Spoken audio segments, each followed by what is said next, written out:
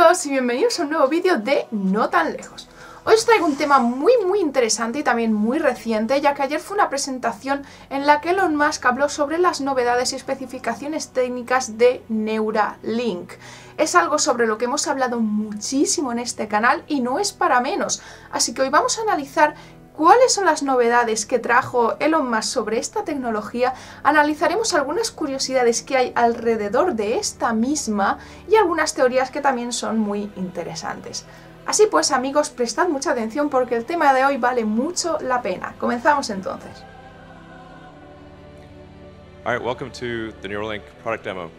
I'm really excited to show you what we've got. I think it's gonna blow your mind. Uh, so the, the, the, primary purpose of this uh, demo is actually recruiting. So I'm going to emphasize this at the beginning and then again at the end.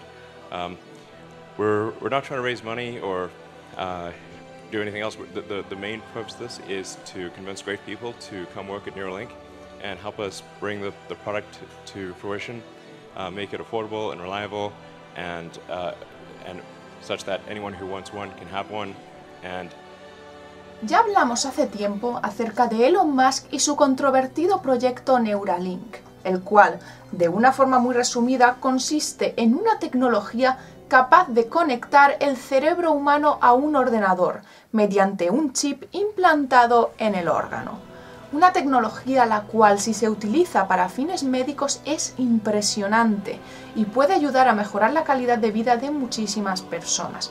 Entre otras cosas, el proyecto promete resolver problemas como adicciones, depresión, parálisis, ansiedad, entre muchos otros. Vamos a mostraros qué fue lo que se dijo en la presentación que se hizo ayer sobre este proyecto y después también os daré mi opinión y algunas curiosidades relacionadas que desde luego os van a dejar pensando. Dicho esto, vamos a las especificaciones técnicas y cómo fue la presentación. Prestad mucha atención a esta primera parte. La novedad más llamativa que mostró estuvo relacionada con un cerdo, sí, sí, un cerdo, el cual tenía implantado desde hace dos meses un chip en su cerebro, el cual estaba directamente conectado a un ordenador.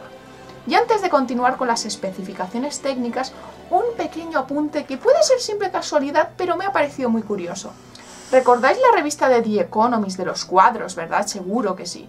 El primero por la izquierda era el retrato de un cerdo.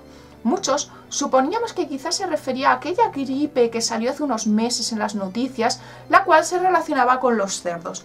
Sin embargo, esta noticia no tuvo la trascendencia e importancia suficiente para que se tratara de uno de esos cuadros. Sin embargo, con un hecho tan importante como el que ha mostrado Neuralink, el cual obviamente va a tener una gran repercusión en nuestro futuro, sí puede estar siendo referenciado en la revista.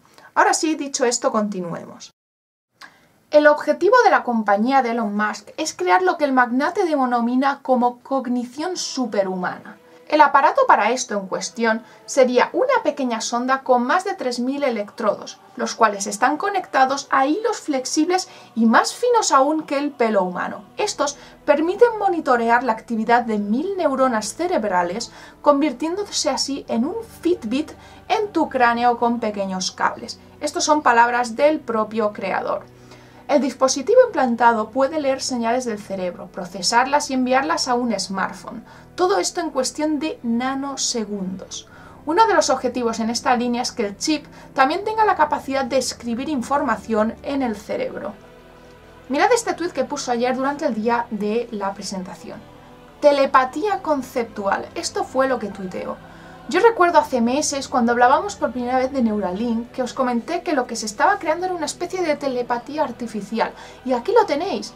Quiero que sepáis que Neuralink es un avance increíble sanitariamente hablando, pero creo también que puede ser utilizado para fines oscuros y para darse cuenta de esto solo hace falta reflexionar un rato. Los seres humanos tenemos la habilidad de ser telépatas.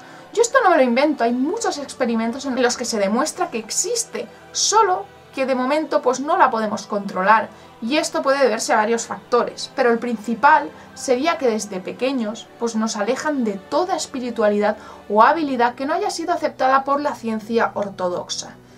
Así que básicamente me parece una forma de hacer algo que podríamos llevar a cabo de forma natural, pero de una forma artificial y con menos esfuerzo. Esto dejando aparte todos los problemas de privacidad que suscita.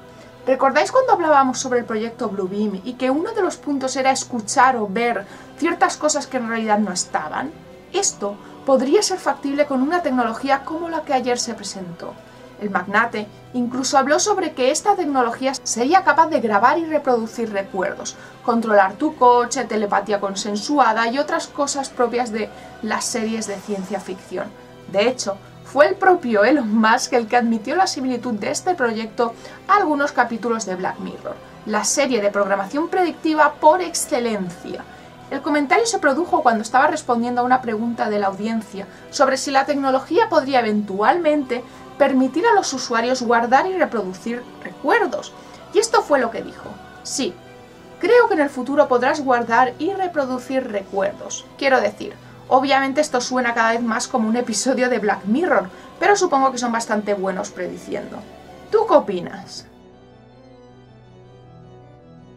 Y bueno amigos, creo que el tema de hoy era muy muy interesante, me gustaría mucho saber qué opináis vosotros al respecto. Yo siempre quiero dejar claro que este proyecto, sanitariamente hablando para las personas que tienen dificultades, me parece una pasada el problema es que sabemos que las tecnologías de este tipo pueden ser utilizadas para fines negativos y esto es algo que todos sabemos muy bien.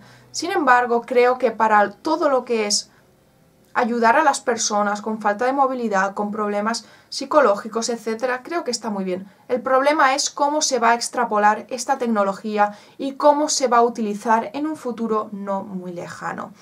Espero que me equivoque y que no ocurra como lo que hemos hablado del proyecto Bluebeam, esos falsos recuerdos, esas falsas visiones que te pueden implantar. Espero que eso no ocurra y que realmente todo esto se utilice para fines positivos. Aunque ya sabéis que yo tengo mis dudas acerca de Elon Musk y siempre va a ser así. Ahora sí amigos, decidme qué opináis vosotros, como siempre me va a gustar mucho leer vuestros comentarios y nos vemos muy pronto en el próximo vídeo de No Tan Lejos. Hasta la próxima amigos.